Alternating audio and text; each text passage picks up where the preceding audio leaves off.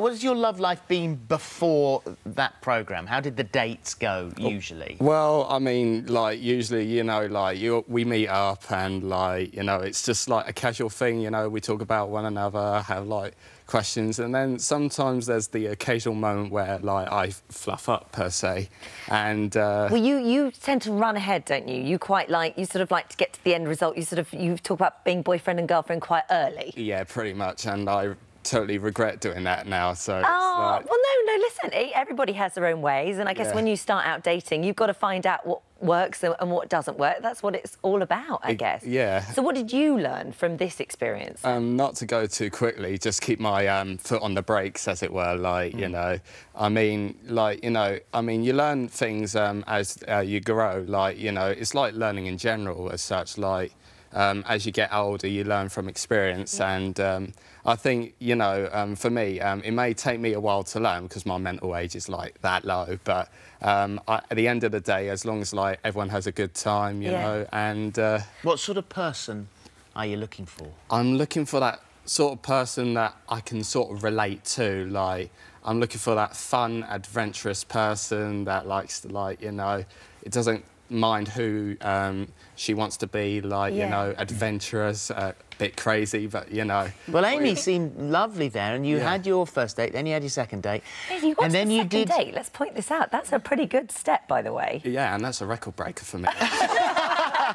but then, but then you did the rushing thing. I, I did, and uh, to be honest, um, it's sort of like you know when your mind like sort of takes over and you like it has like the control stick. It sort it of like did that. Everybody. Um, does that. I was like, um, oh wait, what, what, what's going on here? What's just happened? Did yeah. I just say? But hang on, it, this is because so that was the second date. Mm. Now this isn't a complete end of story here, is it? Because since the programme is finished, yeah this does go on. So what's the latest with Amy? Well, um, we've had um, uh, date number three. Uh, obviously, like um, during that moment, uh, it was just like you know uh, we don't know what each other was saying, so it was yeah. kind of like um, you know we'll just roll with it and see what happens. But then you know looking at what like you know what they said behind your back in a nice way. Yeah, yeah it's yeah, a lovely yeah, thing. Well, we will watch this space, and, and with you, Lily, you're 18, and you are a big fan of the show anyway, so uh, you'd watched it. Yes.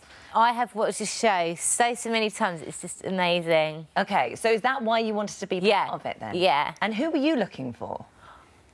What sort of person were you hoping you were um, going to go on a date with? I was hoping for a bit more of a chatty lad. Right, -hmm. A bit more, you know, chatty and not quiet. Well, you love the supernatural. You oh my gosh, I stuff, love you?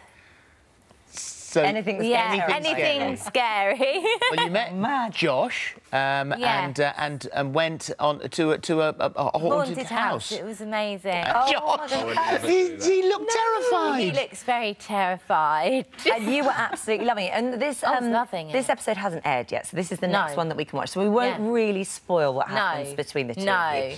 But what we can talk about is after the show how you felt and what it gave you. And you I learned a lot from it. so much confidence and it is important because I'm not a very confident person mm. and people tell me to be confident so I've gained so so much confidence. That's brilliant. And great yeah. for mum as well, because you were yeah. fully supportive of this. Oh, totally. It's a big commitment for the parents, I have to say. But I'd do it all again because Lily's gained so much. She she really has. And she knows she's dateable. There's somebody out there. Yeah, yeah of course there is. And she's so young. Yeah. Tell me about Love for Life. Um, yeah, Love for Life. They, have been really good, and we will stay on their books after the show's So this aired. is a this is a very specific dating agency in your area? Yes, yeah, I think they're, they're sponsored by somebody else, and um, we came round and we met them, and they have friendship groups mm. where they can just all meet up. So it might lead to romance, it might not, but it's good for young disabled people to have those friendship groups. Yeah, and, and, sort of, and, and, as you said, it's sort of supervised and it's safe. Yes, and, uh, that's and... what you need to know, is yeah. in a safe environment. Um, yeah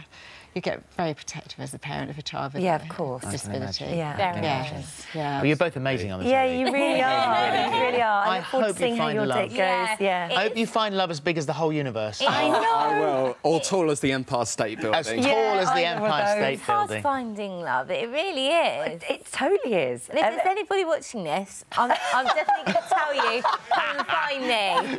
well done. I love you. Same for you. Not to mention, just remember, love is like a Sudoku puzzle. It may take a while, but eventually you'll uh, solve the whole thing. They're very wise, I tell you. Very, I'm not very sure wise. anyone has truly solved love, if I'm honest. well Thank done, you. all of you. Thank That's you very much. If you enjoyed that, there's more of the same right here. And make sure you subscribe so that you never miss the best moments from this morning.